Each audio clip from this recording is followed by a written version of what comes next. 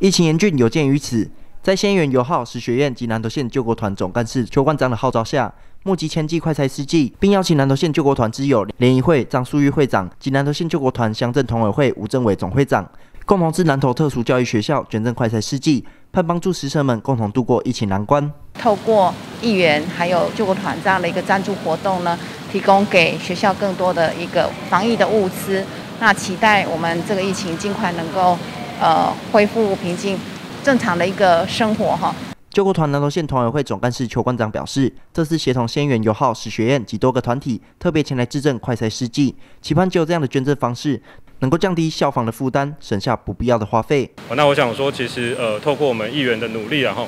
呃，争取了非常多的这个物资，我们今天特别送到我们南投特教学校，呃，让我们的师长哦跟我们的同学哈，如果在这个快筛有需要的时候。哦，可以不用再额外的花费哦，就就可以直接来做一个快筛，哦，一起把我们的防疫工作做好。先云友好史学院指出，疫情严峻当下，需要的是大家一起共同努力，因此希望就这样的方式响应社会大众一起重视。我们要很感谢我们的救团、县团，他那时候有提到说，其实现在很多的一些学校或团体，其实都会需要一些这样子的快筛。那 政府机关其实并不一定能够准备充足的量。那如果可以的话，也需要民间协力，大家一起来协助，还有大家目前的快筛需求。那我们希望说，这样子的一个爱心行动，可以带动我们社会上更多的一些的爱心企业可以做捐赠。也希望说，我们县团委的这样一个做公益的形象一直延续下去。那我们今天学院今天很开心，跟着团委会跟我们友好议员，